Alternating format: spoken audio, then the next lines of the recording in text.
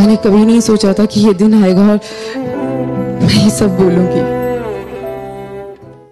Hello दोस्तों, बेहद दुख के साथ कहना पड़ा है कि सिंगर राजू पंजाबी का निधन हो गया है। निधन होने के बाद फ़िल्म इंडस्ट्रीज़ में शोक की लहर डूब गई। उनके चाहने वाले फैंस पूरी तरह से अभी भी सदमे में हैं। उनके चाहने वाले फैंस अभी भी यकीन नहीं कर रहे कि सिंगर राजू पंजाबी अब हमारे बीच नहीं रहे। वो दुनिया को अलविदा कह गए। तो दोस्तों, इस खबर को लेकर आपको क्या कहना है? कमेंट बॉक्स में ज़रूर बताएँ। उनके जाने से उनकी फैमिली का रो रो कर बुरा हाल है। पूरी फैमिली में शोक की लहर डूब गई।